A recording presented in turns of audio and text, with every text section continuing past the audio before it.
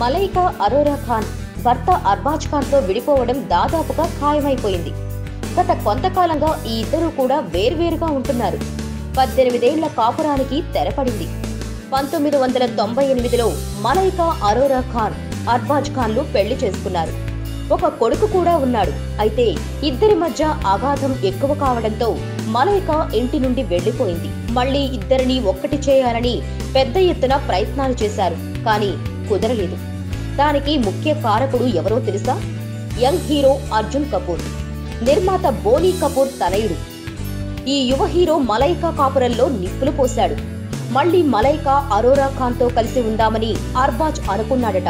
కానీ ఈ మధ్య అర్జున్ కపూర్ మలైకా ఇంటి నుండి అర్ధరాత్రి బయటకు రావడం అది మీడియా కంటపడడంతో అర్బాజ్ మలైకాపై ఆశలు వదులుకున్నాడట.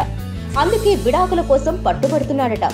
ఇక మలైకా కూడా అర్బాజ్తో కలిసి ఉండేది లేదని అంటోంది మలైకాకు అర్జున్ కపూర్ ఫ్రెండ్ అనే అనుకుందాం అర్ధరాత్రి పూట ఏం పని అని ప్రశ్నిస్తున్నారు అయితే మీకెందుకు సమాధానం చెప్పాలి అని అంటోంది Malaika Please subscribe. Hi, it's me Purna. Please subscribe.